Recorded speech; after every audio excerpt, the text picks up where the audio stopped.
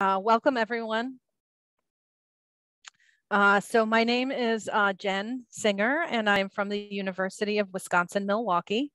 Um, I am from the International Student Office and you are here today because we're gonna do an online session to provide information. All of you should be admitted to our computer science master's program. So we're gonna do a session today that's focused on that. Um, we're gonna start with some basic information for international students, but most of the session today will be focused specifically about our computer science program. We have with us today um, a professor of computer science, um, Dr. John Boyland, and we also have a current computer science master's student with us here today, Pranay, who will be able to talk to you about his experience as a student. Uh, so welcome today. Before we get started, I wanted to start with a couple of little housekeeping things. And uh, first of all, if we could ask you please, while you're uh, participating in the session to keep your cameras off and your microphones muted. Um, it really makes for a much nicer experience for all the participants if we don't have to worry about bandwidth or background noise. So keep your cameras off and your microphones muted. We are going to devote a, a large portion of today's session to answering questions. So if you have any questions along the way, we're requesting that you please put those into the chat box. Um, the Zoom platform has a chat function if you want to put your questions in there. Uh, when we get to the end, we'll make sure that we devote time to answering all of those questions. Um, so use the chat box. Um, our engineering program um, is very eager to have you um, join us on campus and they have these amazing uh, engineering pens, right? It's a pen that you use to write with but it has attached to it all sorts of really cool engineering tools. Um, and so as a reward for attending this session today, they'd like to make sure that you get one. In order to do that, we need to know exactly who's here. So if you could take a look at the name that's on your Zoom account, and if it's different from the name that you use to apply to UWM, if you could go ahead and change your Zoom name so that we can identify that you're here. We're gonna keep track of our participants today so that when you arrive on our campus in person, we know that you attended the session and then uh, engineering is going to make sure that you get uh, one of these amazing engineering pens. So if you could go ahead and change the name on your Zoom account to the same name that you used to apply to UWM, that would be very, very helpful. Just a reminder to keep your cameras off and your microphones muted. If you have questions along the way, go ahead and put them in the chat box and we will make sure that we get those um, answered at the end of the session today. So just to give you a brief idea of what's going to happen in the session, I'm going to start with some really basic information about um, international student uh, information, right, um, arrivals and how to navigate the information you need. Um, then I'm going to pass it over to Dr. John Boyland, who's a professor in our computer science program, who will talk to you a little bit about the computer science program itself. And then finally, we have Pranay, who is a current computer science master student uh, from India who's going to tell you about his experience from the student perspective in our program. And then the rest of the time is going to be devoted just to answering your questions. Okay, so if you've got them along the way, put them into the chat. Okay, I want to start by, um, I'm going to share my screen. Um, oops. Uh, I'm going to share my screen and I am going to uh, share with you a website. Hopefully all of you have seen this by now, um, but I do want to share it with you. I'll put the direct link to it into the chat when I'm done speaking. This is the site that UWM has for our international students. Um, you'll see that at the top it's called ISSS Connects. ISSS stands for International Student and Scholar Services. Many of you have received emails from ISSS at uwm.edu. This is the website that you'll use as an international student here at UWM. At the top right, you have the opportunity to log in. This is where you upload your documents to request your I-20, etc. But with this very first section, you can see on the left, there's this menu. The top one is newly admitted students. And if you go there, it's public facing. You don't need to log in to see it. And this is the information that we have out for our newly admitted students, including I'd like to highlight our next online session for admitted students is actually tomorrow at 9 a.m. So this session will not be focused on computer science. It'll be a general session for all of our international students. But if you're looking and you have questions about anything uh, that relates to getting to campus, please join us tomorrow. We would love to have you. If you go down on this website, we have a nice checklist for you. If you click on that, it uh, opens as a PDF. So in case you want to print it and cross things off. But if you go down here to the bottom, you'll see there's these different categories. And if you click on them, they expand to provide more information. So I'm not going to go through every detail of every section, but I want to highlight just a couple of things. The first is the very important one, this tell us your plan.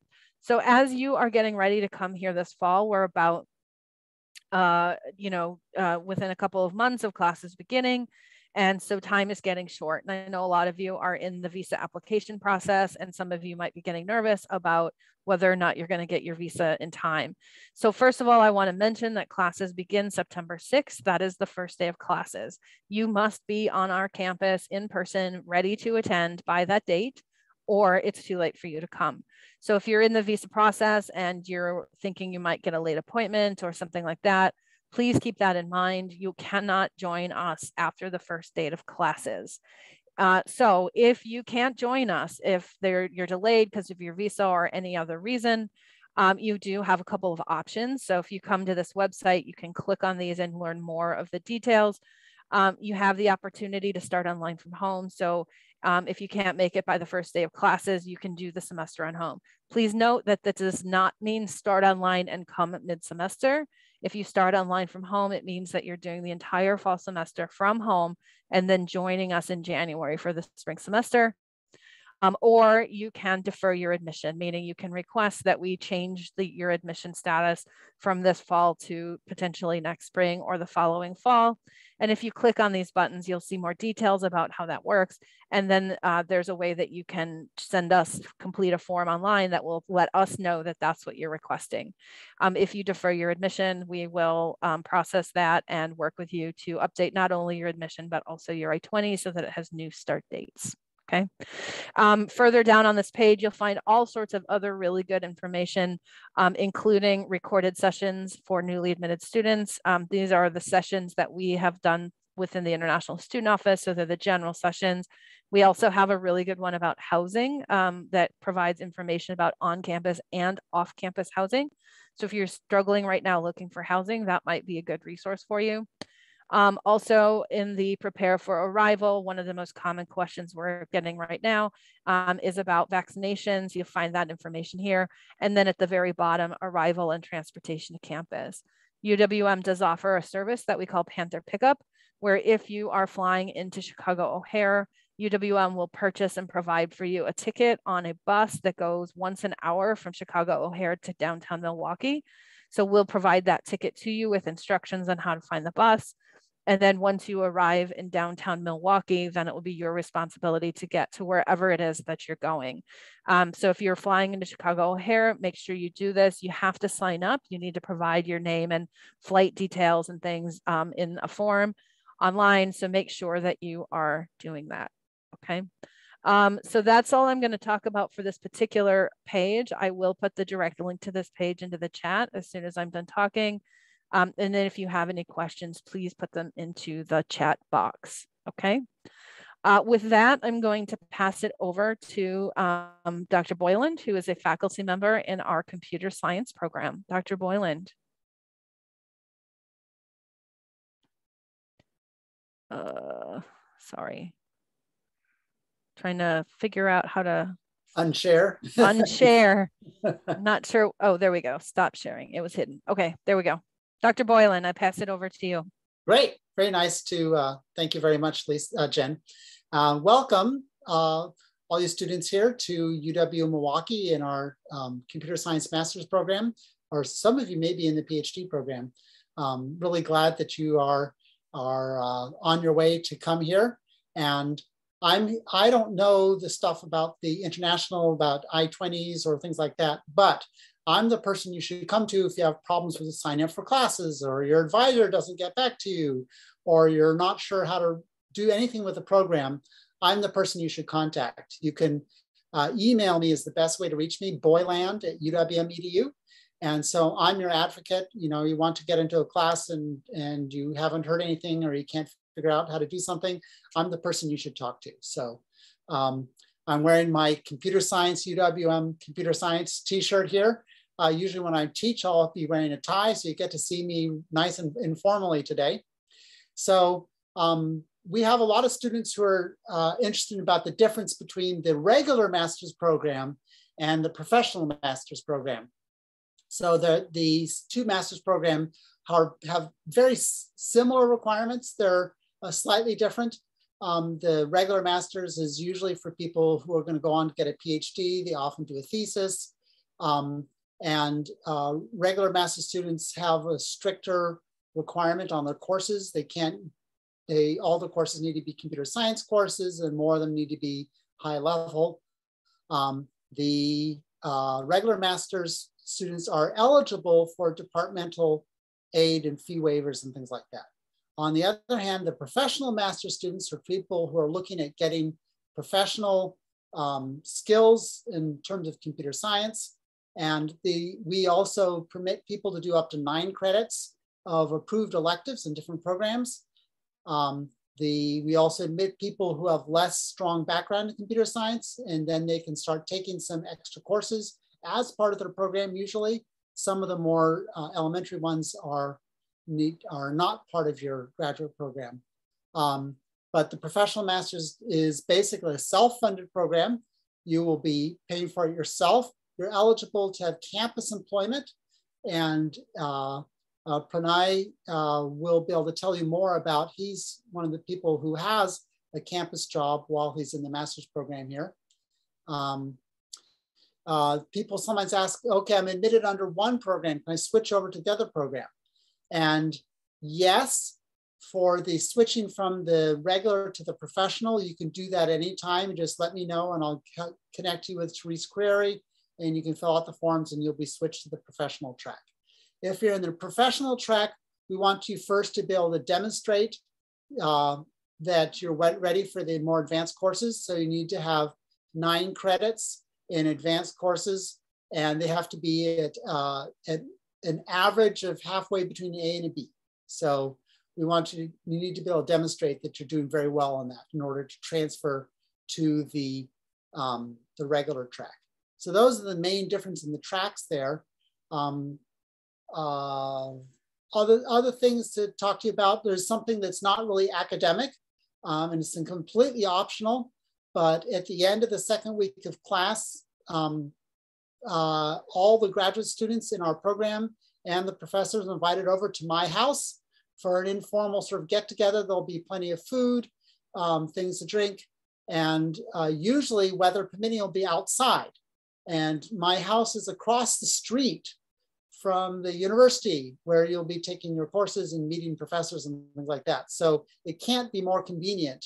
Um, people park farther away from uh, than I live in order to go to the building. So people will park four blocks away and I'm just across the street. So um, we actually rent out our garage to a professor of computer science because uh, we're so convenient for that.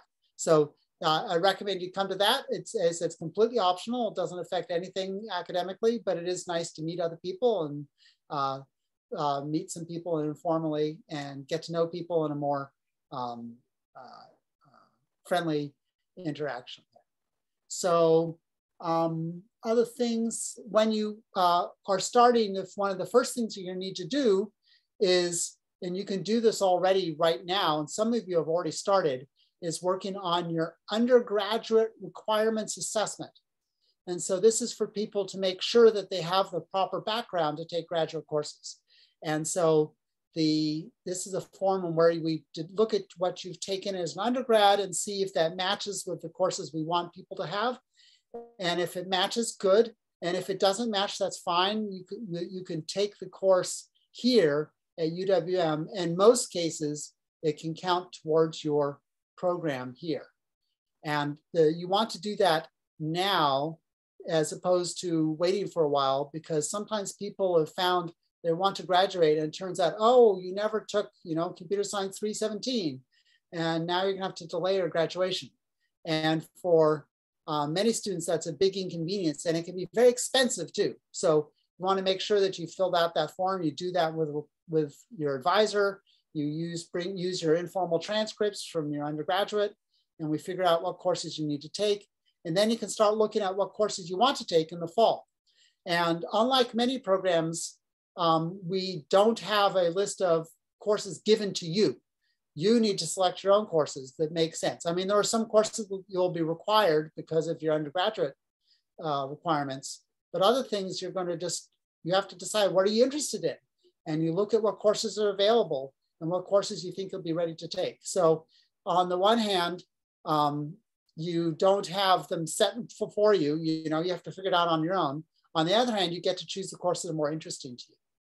So in the later part of the program, there'll be a chance of asking questions. I was just trying to talk about some of the main things here and want to welcome you again to uh, UWM. And I'd like to introduce our next speaker, who is Pranay.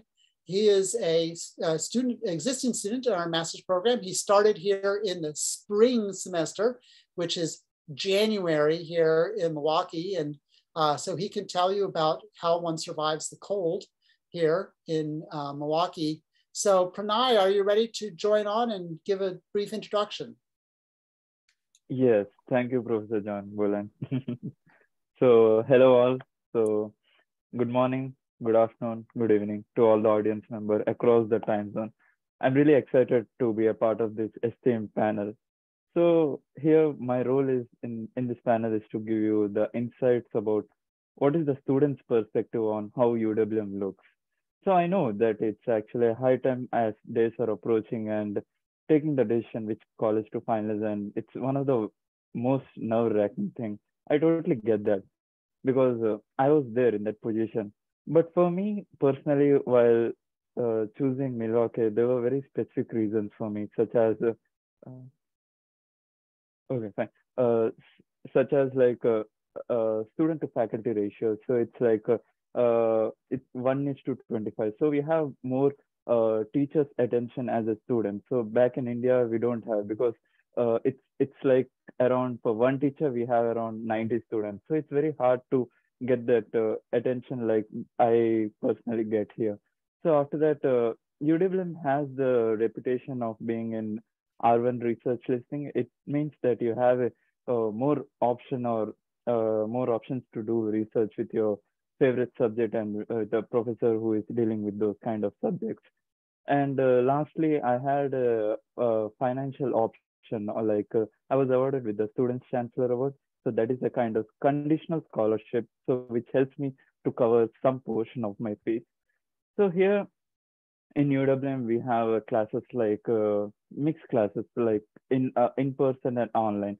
For the first semester, when I came in spring semester, so I had I have taken two in-person classes and, and one online class. So I personally don't prefer online class, but after coming to UWM, it actually changed that perspective because uh, now I'm actually more comfortable to take online class because uh, how UWM deals with online class, how and how the uh, checks and balances they have put in that uh, online class so that it can be provided as smooth as possible. So for me, I have taken 535, that is a design analysis course offered by Professor Christine Cheng, and she's an excellent professor. So I, I, I have taken that course as online because there was no in-person chance. So as you know, for a computer science student, it's a very crucial subject, uh, design analysis. So I was a bit skeptical at the beginning. It's like, uh, uh, it's an online class. Will it be okay? Or I should have taken some other semester or something. But after attending the first day of the lecture itself, I was like, damn, this is going to be something good and something big.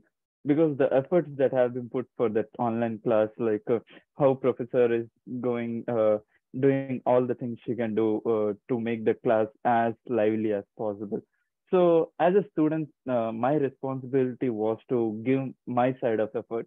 So what we have, uh, I have done is uh, I have connected the class to a TV and invited my roommates over and uh, like we are trying to replicate that kind of class environment around us so it's like uh, giving uh, professor is also putting their efforts and we have to put our efforts. So it's more about that going that extra mile to achieve things. So after that uh, i want to share that share the story behind how i got this opportunity in this panel. So I had a subject, uh, user intelligent interface, offered by Professor Susan McRoy, and she's the head of the uh, department, or chair of the department, sorry. And uh, by the end of the uh, semester, so in that subject, we had a requirement, we had to submit a project as a final assessment. So professor asked us to just show her the working prototype of the project, whatever we are proposing. So I formed a six-member team with my roommates and friends. So Hari, Shubham, Anuya, Sharath, and Soundarya. So we collectively decided to make a web application where upcoming international students can give the GRE, IELTS, and CGPA.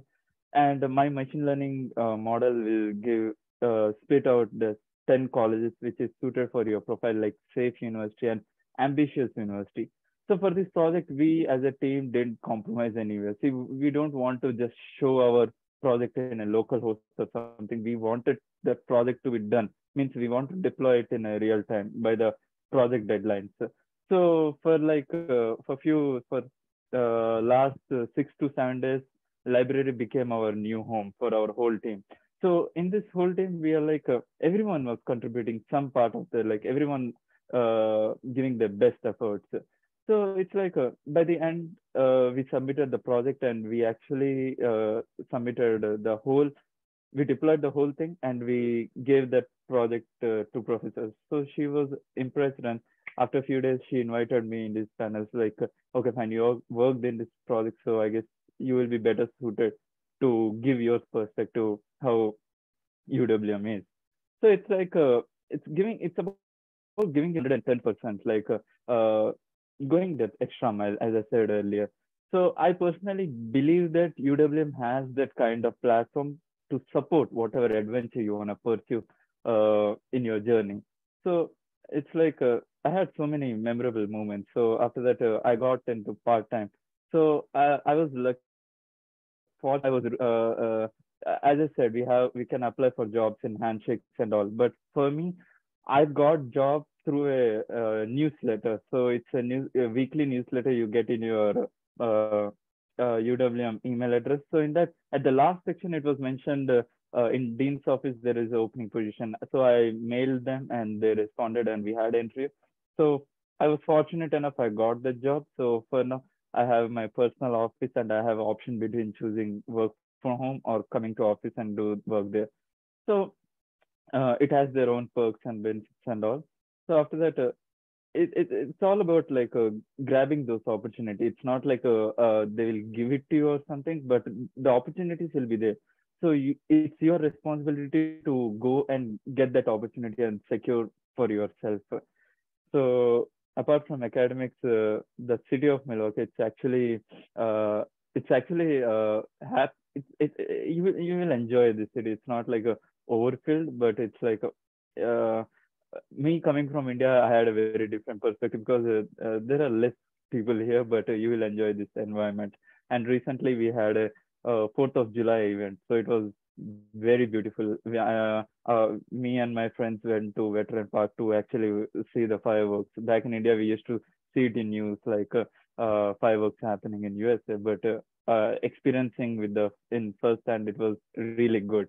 And after that, as an international student, one of the biggest worry would be uh, getting housing and uh, uh, how the food will be. So for me, uh, housing, I was fortunate enough. Uh, I got uh, mm, contacts from groups and all. I guess you are all being part in this WhatsApp group or some other Telegram group or something. So I got in touch with my senior and I got that housing option as early as possible because uh, that is the one uh, if you secure your housing you you will be in peace like okay fine now i can work on different things so, so after that uh, another biggest worry was like uh, how the food will be. So will i be adjusted because uh, I, uh, back in india i have a very different cuisines because i born i was born in chennai. So there we have a different kind of food and i moved to new delhi. There is a different kind of food. And after that i studied in different places like andhra and bangalore. So we have a different food over there. So i was worried like uh, uh, will i be adjusted over here? Because uh, i had a very different uh, platter of foods there. So when i came here in milwaukee uh, you don't believe me i didn't miss that much of food like if i needed indian food i can uh, go across the street and get the indian food so it's like uh, if I want to get Chinese food or something, I have a Chinese restaurant across the street. So it's like uh, uh, you won't uh, miss out that much. So I hope uh, uh, for the upcoming students coming for fall, so you, I can uh, assure you that you will enjoy the city and you will enjoy the UWM culture itself. So it's uh, like uh, it's whole run by students. So you will definitely enjoy. So I hope uh, I will uh, meet you in person uh, as much as possible. So thank you so much for giving me this opportunity. So if I miss anything, just let me know in the FAQ session. Thank you so much. Thank you so much. Really appreciate the students' perspective um, of Thanks. being at, at, UWM. That's wonderful. Um, okay, so that's the kind of the end of our prepared marks. So we are reserving the rest of the session to answer your questions. Um, so if you have any questions you'd like any of us to address, um, please put them into the chat. Um, in the meantime, while we're waiting for some questions to come in, a couple of reminders. Um, if you could please go to your Zoom account and take a look at the name that is showing up for you on your screen. Um, and if you could change that to the name that you used when you applied to UWM so that we can uh, take note that you are here. Um, our engineering program has these really amazing engineering pens. It's a pen with engineering tools attached to it. And they'd really like to make sure you get one as a reward for attending the session. But in order to do that, we need to know that you're here. So if you could change your name to the name on your application, that way we can keep track of who's attending the session and make sure we connect with you and get you that gift when you arrive on our campus. Um, as we go through the Q&A section, if we could um, please uh, just again remind you to keep your cameras off and your microphones muted. It makes a much nicer experience for everyone. But go ahead and put your questions in chat and we will make sure that we answer them. so I know that we have at least a few questions uh, in our chat so far. Uh, so let me um, start with those. Our very first question of the day was about the documents that need to be submitted after arriving to UWM and when to submit them. So there's a couple of different things here uh, that are important for you. Um, and so the first is uh, related, all the stuff related to your admission to UWM and your visa status. So first of all, when you arrive in the US, you should go to that website that I sent you, that ISSS Connect site, log into it, and you'll see that there's an opportunity for you to click on something that is about arrival and check-in. Um, so there's a process that you're gonna need to follow. You can only do it after you've arrived in the US. So wait until you get here um, and then within a couple of days do that. So part of that process is going to include um, uploading pictures of your documents. So um, you're going to have your I-20, your visa stamp, and then you're going to have what's called an I-94, which is the document that officially shows that you entered the US in your F1 uh, visa status. We'll give you instructions on how to find all of these things, so don't worry. Um, but you're going to log into that ISSS Connect and you are going to um, complete that arrival check-in process. You'll have an online virtual meeting with someone from the International Student Office to go through your documents, make sure everything looks in order, um, answer any questions that you have, help you with any next steps that you need to do, um, and, and give you directions on anything that you're missing at that point. Um, all of you uh, for, were in, uh, if you remember when you applied to UWM, our application system allowed you to upload your transcripts directly into the application. So by default, because you uploaded copies of them, they were all considered unofficial copies. So all of you were admitted on the condition that you provide your original final transcripts to us upon arrival to campus. So that's one of the things you'll need to take care of um, as part of that arrival check-in process. The person from the International Student Office will go over this requirement with you but essentially you'll need to bring your hard copy final transcript to the International Student Office. We can take a scan of it so you can keep the original, but we need to physically see the transcript um, documenting that you in fact completed your previous degree before coming to UWM. Um, excuse me. Um, and then the, uh, the other thing that you're gonna make sure that you need to submit um, that you can start working on now is that you're going to need to work with the computer science program to submit that form that compares you the coursework you took as an undergraduate and um, make sure that they are satisfied with the requirements um, to make sure that you're taking the right classes moving forward. This is the form that Dr. Boyland referred to earlier. Um, and uh, you want to make sure that that is done upon your arrival at UWM so that you're not discovering later that it, it wasn't taken care of. Okay. Uh, let's see. Um, uh, Dr. Boyland, we have someone who's asking for um, a, a, a more explanation about the differences between the regular and professional track.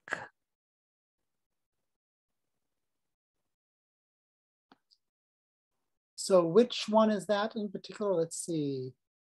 Um, the person talking about taking the computer studies 751?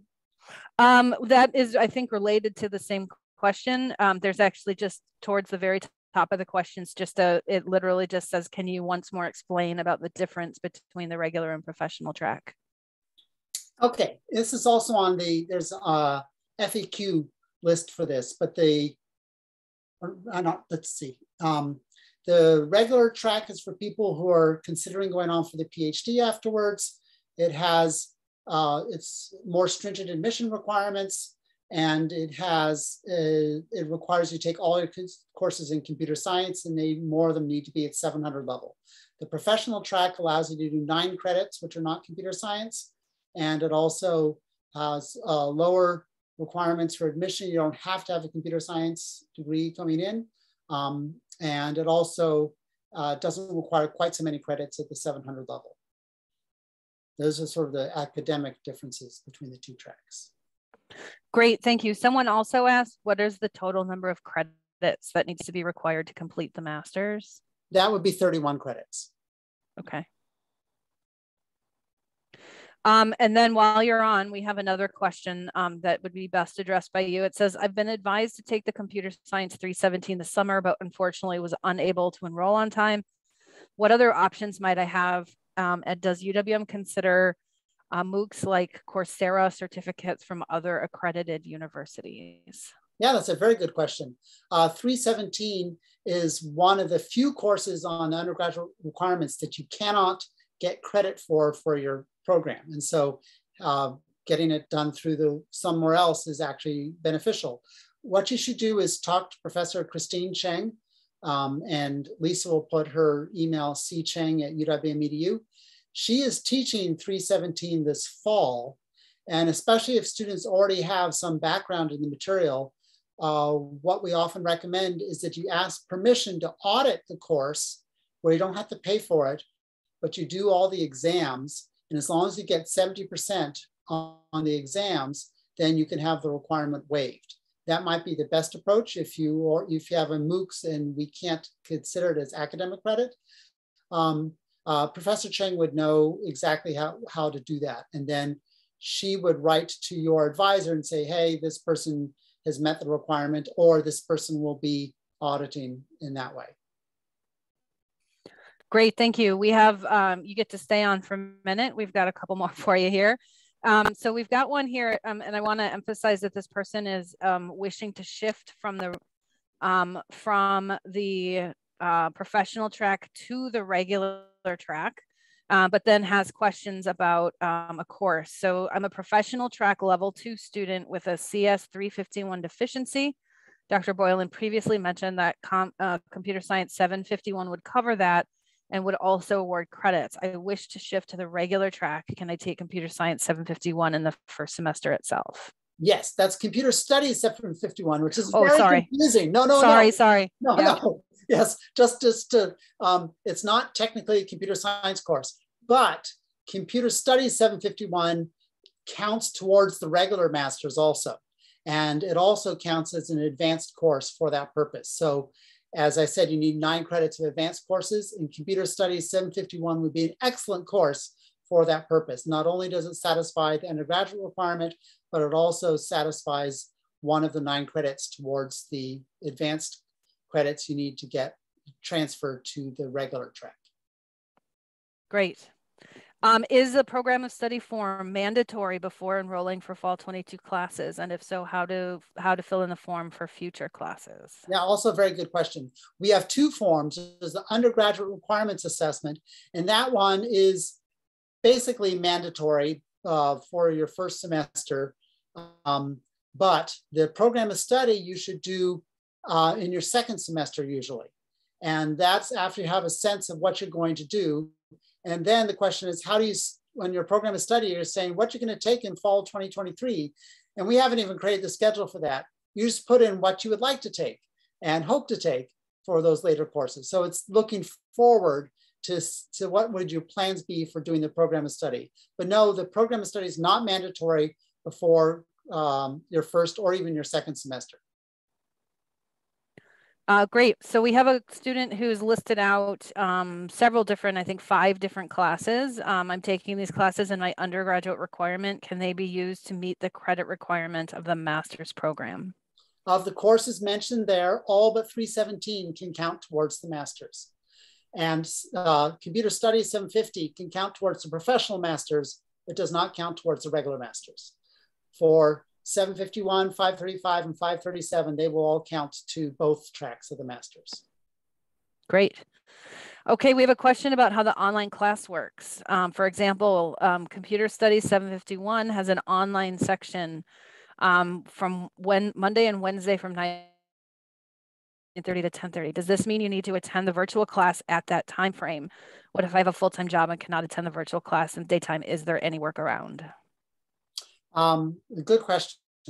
Um, I'm a little nervous because I'm pretty, I'm teaching that course and I thought it was Tuesday, Thursday, but maybe it is Monday, Wednesday. So I'll need to check my schedule to make sure that uh, get my, I haven't quite made the syllabus for the semester, so I will find out.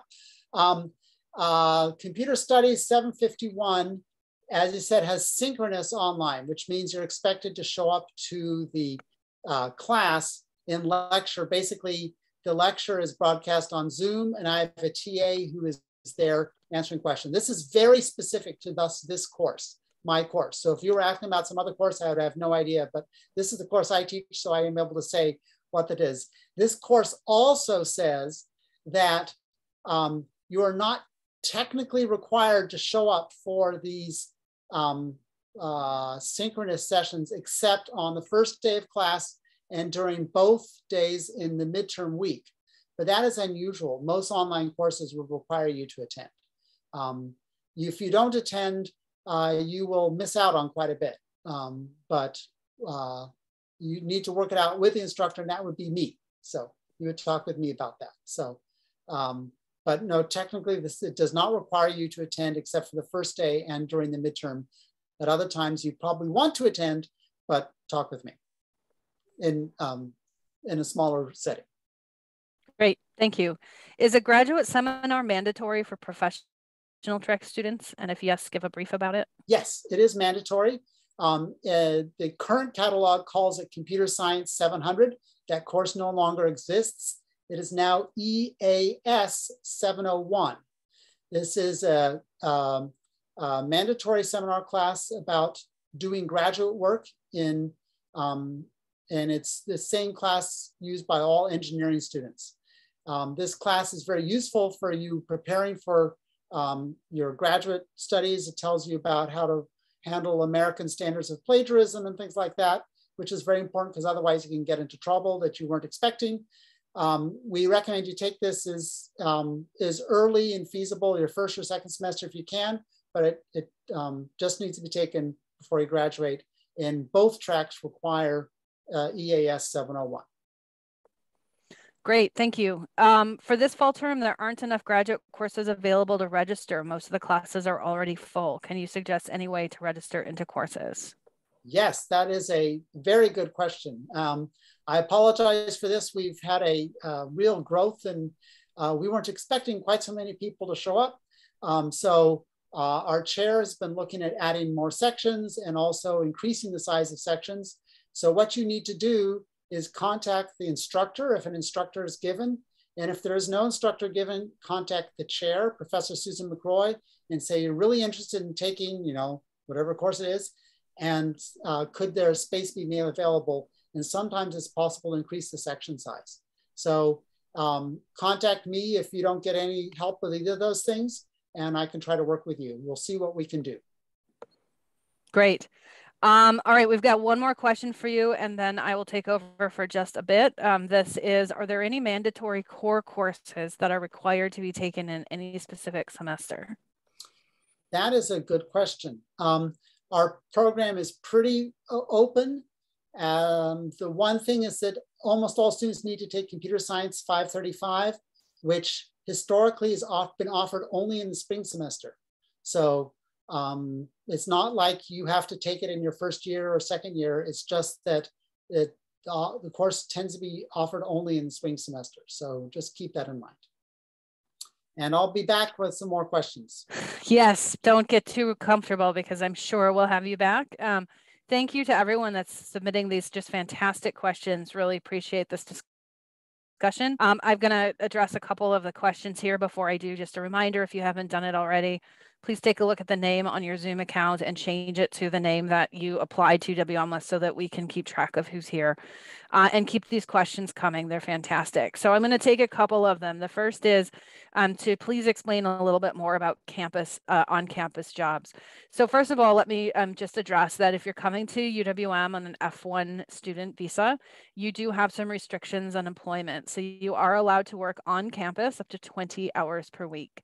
Um, you're not allowed to work off campus without special permission. Uh, during the semester, it's 20 hours a week. And then in the summertime, as long as you are eligible to enroll in the fall, you're allowed to work on campus in the summer full time. Again, not allowed to work off campus without special permission. Um, there are lots of jobs available on our campus um, for our international students that are looking for on-campus work. They're typically able to find something, um, but it really can vary in what uh, is available. Um, so Pranay, our student who joined us today, he was able to get an on-campus job that was working in uh, the College of Engineering and Applied Sciences in the Dean's office.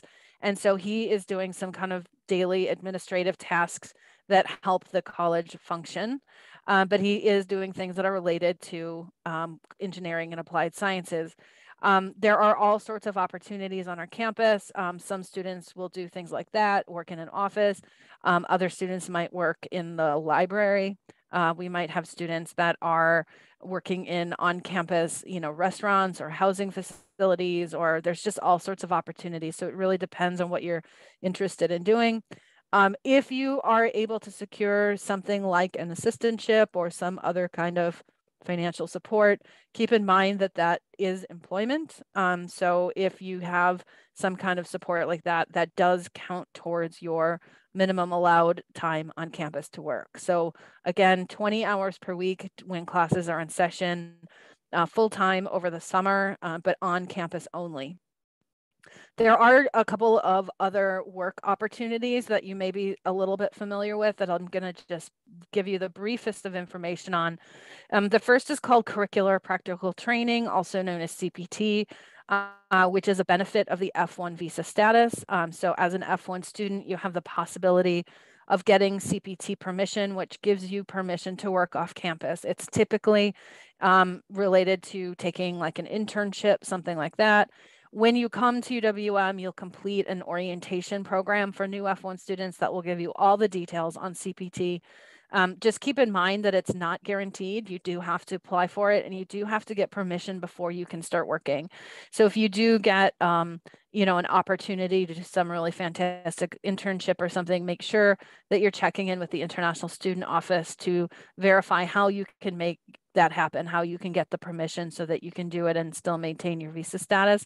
The US government takes employment very, very seriously. And um, the if you work and you don't have permission, it's really fast way to lose your visa status and, and have to leave the US. So make sure that you're um, taking care of that and getting the permission that you need.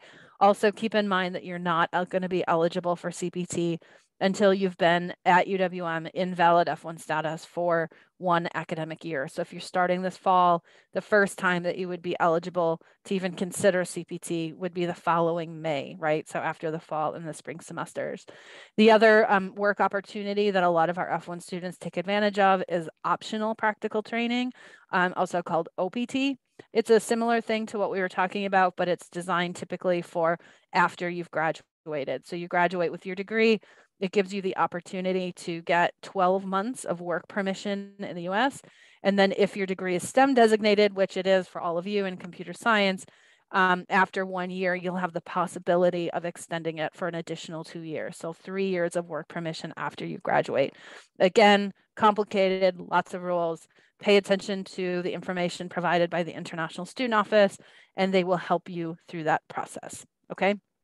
UWM uses a system on our campus, a, a, program called Handshake. That's a software that allows campus jobs to be posted. So if you're looking for on-campus work, I would recommend going to the UWM website, search the word Handshake, um, and it will take you to the database that you can log into to find potential on-campus opportunities. Keep in mind that not everything is listed in there. Sometimes you can identify things through connections or word of mouth or you know just asking around of other opportunities um, but handshake is a really great place to start. Okay um, someone asked a question can we audit any course for free? Um, auditing is actually a pretty complicated process on our campus um, and you can't just audit whatever you want. There's all, all sorts of rules in place about how full the class is and and all sorts of different things and so what i would recommend is you go to the uwm website and just search for the word audit class and you'll find information about what that means and, and what it looks like. Um, but keep in mind that even if you do audit a class, it would be for your own personal knowledge and it's not going to count towards um, any degree requirement. So you can't audit a class and then expect it to, uh, you know, fulfill a requirement that you need in order to graduate. Uh, we have a question about, uh, can we choose the number of credits as per our wish for every semester? Uh, yes, uh, within some limits, um, you get to choose the number of classes that you want to sign up for. Of course, the more classes you take, the faster you know you can complete the requirements.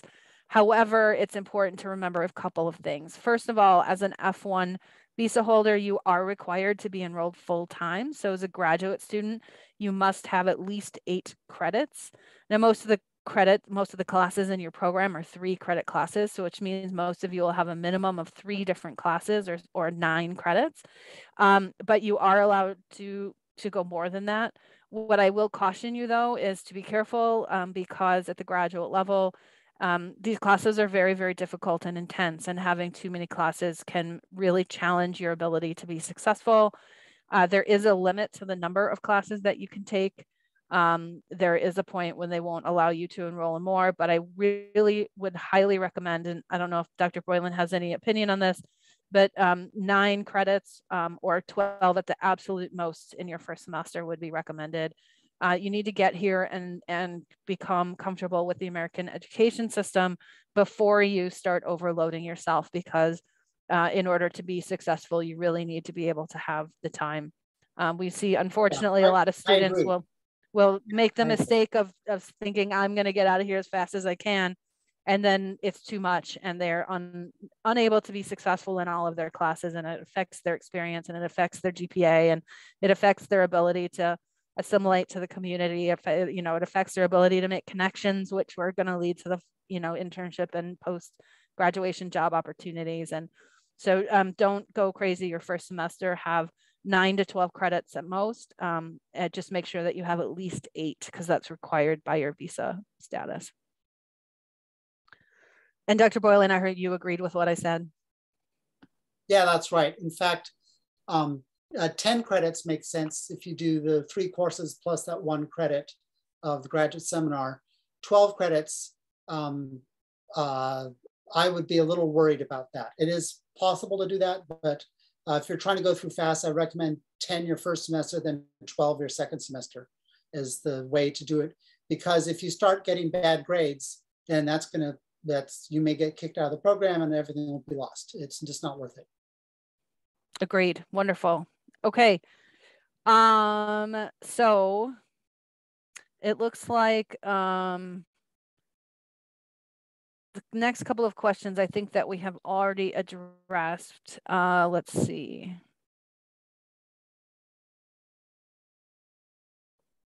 Uh, it looks like we have one here, Dr. Boyland. EAS 701 is effective academic writing and EAS 702 is preparing future engineering faculty and professionals. Which one do we have to take? The people in professional track take the uh, EAS 701, which is the one credit. People who are in the thesis track of the regular, uh, doing the thesis in the regular track need to take both of them. Okay.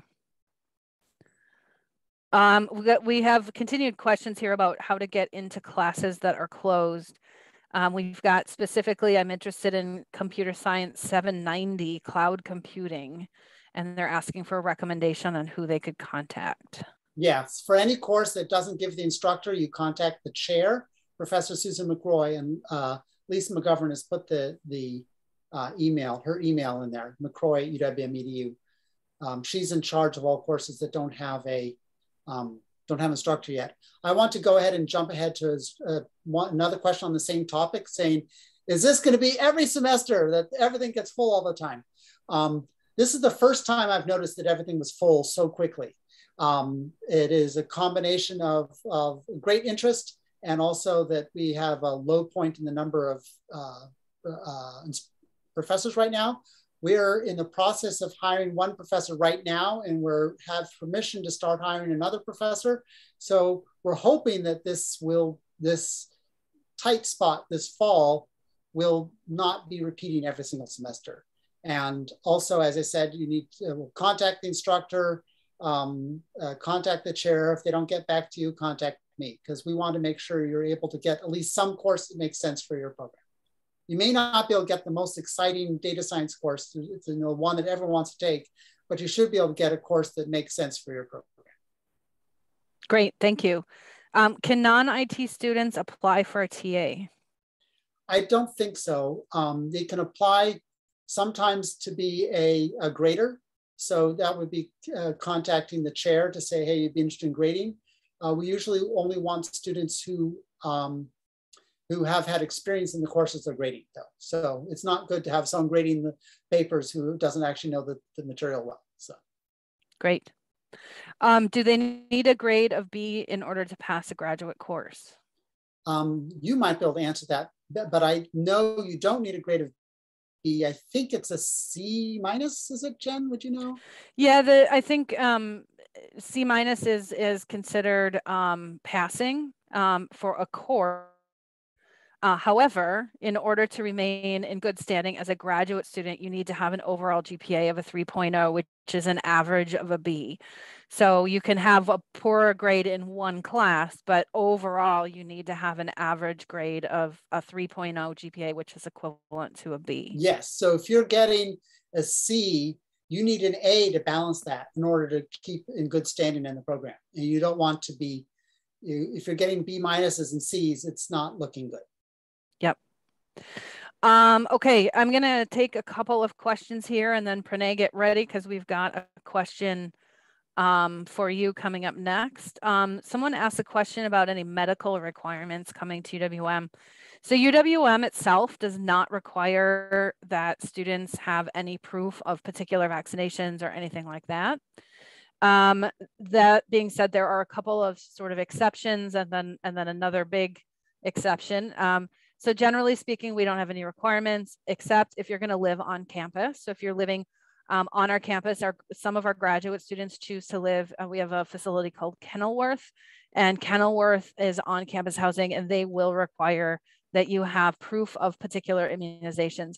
If you're living on campus, you need to have a signed contract with Kenilworth and in the contract, it will specify exactly which um, requirements um, are needed for that. Otherwise, you're not required to provide anything to us.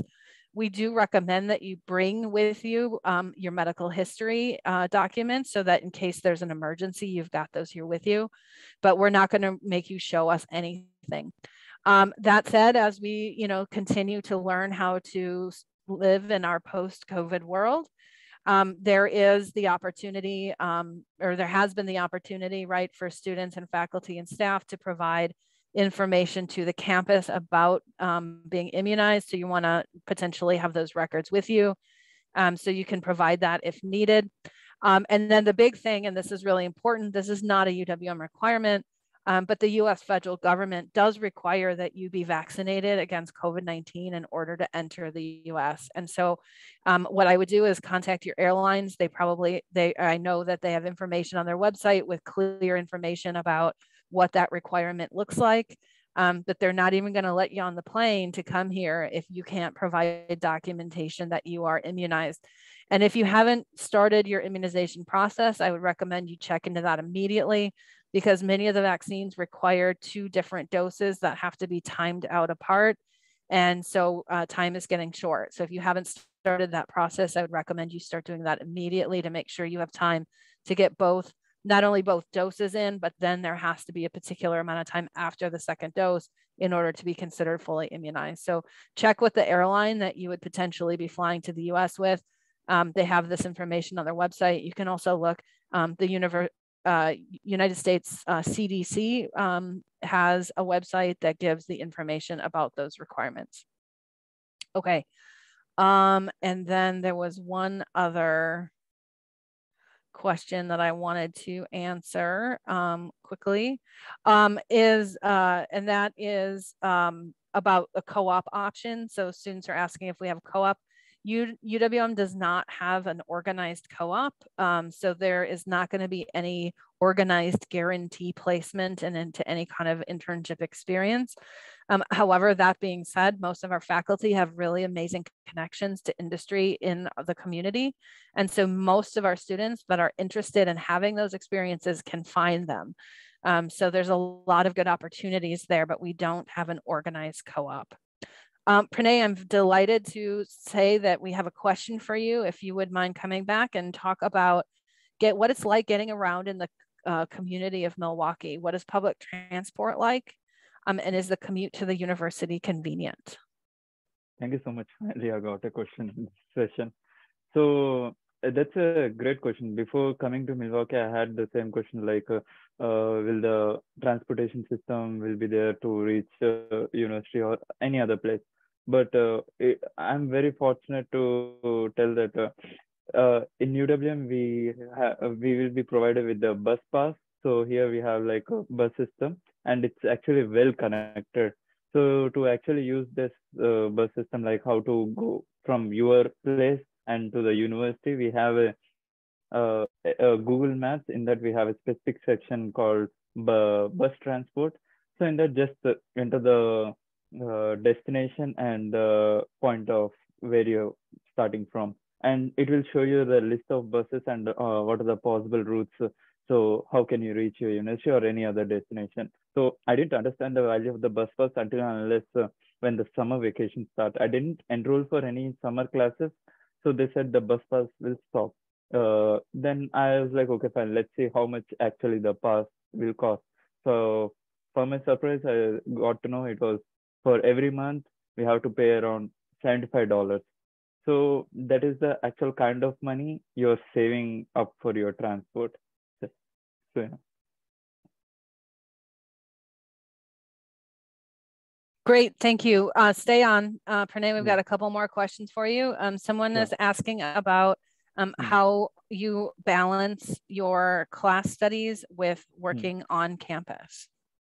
Actually, that's a really great question. So as Jen mentioned earlier, for our as an international student, we have uh, per week 20 hours work requirement. So uh, what I did was uh, I used to work like a six hours shift every day.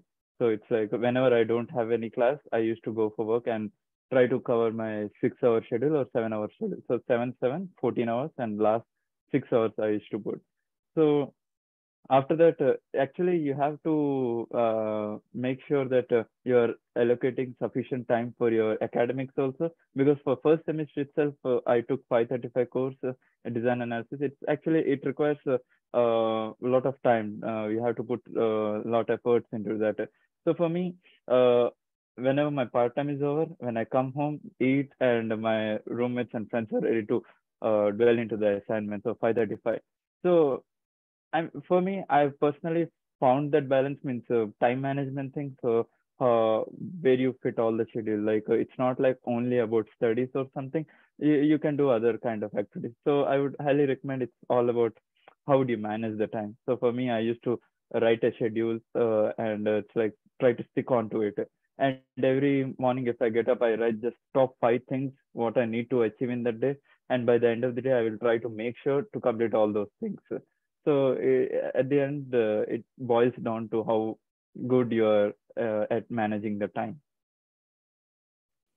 Great, thank you. While you're on, we've got one more question for you. Are there any good Indian restaurants around UWM? Actually, there uh, there is one good restaurant I would recommend. That is Maharaja Place. Uh, eh, they offer buffet system and other kind of uh, general meals also. So we have plenty of Indian restaurant options. Just in Google, you can search what are the Indian restaurants in Miami. You will get a plenty of them, and they're actually very good. So I thought I'll miss most of my Indian food, like uh, samosas and pani puri, these kind of favorite food. But uh, after coming here, I I didn't uh, find that kind of difference. I like uh, when I'm when I'm craving for those kind of food, I just search nearby places and go there and get those things. So yeah, nothing to worry about that. Great, thank you so much. Uh, Jen, before I leave, I got one direct question. I guess I can oh, address oh, that. Um, yeah, please do. Uh, so uh, someone said, I heard that cab services is all free all over the Milwaukee with our Panther student ID. Is it true? Uh, actually, uh, it's it's not. Uh, we have a cab service, but it's like that is provided by our campus. So we call it as a BOSS. Be on a safe side. So we have a timing. For summer, we have like a seven to twelve, and for fall and spring semester, we have a different timing. Like it starts from evening six o'clock and ends at uh, late night two a.m. So uh, those cab services are provided by UWM, and you have a very uh, specific cab. We call it as a type TapRide app. So you have to log into that app, and uh, you can book in that app only. It's not like you book Uber and you showed your UWM card and it's waived off. It's not like that. So if you have a very specific app, you have to log into that and you have to order cab from that. It's not like every cab is free for UWM students. I hope I cleared that thing. So yeah, that's the only thing. Great, thank, thank you, you so much. Um, I'm going to address one final question, and I think that's going to bring us to the end of our session today. Someone asked about tuition and fees for fall 22. Um, I just put a link into the chat that takes you to the UWM website. Uh, we have a site called One Stop Shop that's that provides you with all of the general information you need about the university. So that's the page that shows you the, the information about tuition and fees. One of the things that's interesting about UWM is that we are part of a state system. Um, and so we are uh, bound by some rules that are set by our system. And one of those um, interesting rules is that they don't finalize our tuition amounts until close to when the semester begins. So you'll see that page, um, the last tuition amounts that are listed are for summer of 22, fall 22 is not listed yet. Um, that's because they have not been formally announced. As soon as they are, that page will be updated with the fall amounts. But you can imagine, you can assume that they're going to be very, very similar to the spring amounts or the or the summer amounts. So you can take a look at those previous terms to get a sense of what it's going to be. The tuition modeling at UWM is kind of confusing and a lot of other places in the world when you sign up for a program like a master's in computer science, there's one fee that you pay. So you go in knowing exactly what it's going to cost. The US education system doesn't work that way and it depends on what you sign up for.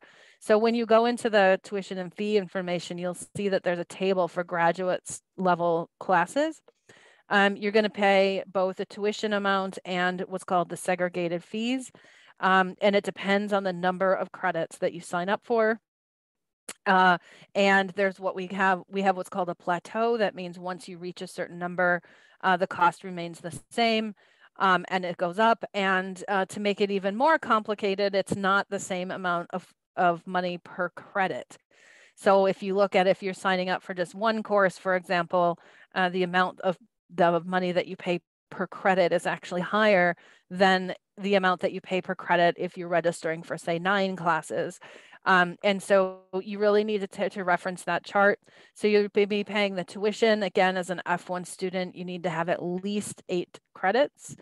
Um, and so you can, uh, that can help guide you with an expectation of cost. Plus you're also gonna be paying the segregated fee that you'll also find on the chart. The segregated fee is the fee that pays for all of the extras that you get as a student while you're here, access to our um, athletic facility, all sorts of activities, that kind of thing. Um, and then some classes also have additional fees. So when you go to register for classes in the online catalog, when you look at the class, if there's an additional fee specific for that class, it'll be listed there as well. Um, that is why it's really challenging um, to tell students exactly what it's going to cost because there are so many different factors. Don't forget, in addition to that, as an F1 student, you're also required to have health insurance. And so that will be automatically billed to you in your PAWS account when you register for classes. Okay, um, I think we've covered an enormous amount of information today and we're at the end of our time. And so um, in order to be thoughtful about everyone's schedules, I'm gonna uh, end this session. Um, so I wanna thank everyone for coming today. We're super excited to have you on our campus this fall. We know uh, it's coming up very quickly. Some of you are already booking your plane tickets and getting those plans ready. If you have any questions, um, I highly encourage you to reach out to us. Um, I know that uh, Pranay and Dr. Boyland and myself are all willing to take questions by email. If there's something that you didn't have a chance to ask today, um, I will make sure my contact information is in the chat box of this um, before we sign out.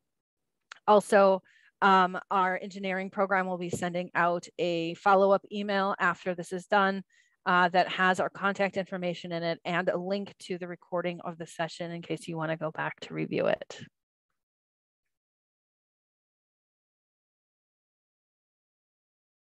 Um, Pranay, thank you so much for joining us. We always really appreciate the student perspective um, on these sessions. Uh, that is what is the students are really most looking for. So thank you. And Dr. Boyland, thank you so much for your insight into the program. Um, students, we look forward to seeing you this fall. Um, let us know if you have any questions and thank you so much for joining us today. All right, thank you. Bye.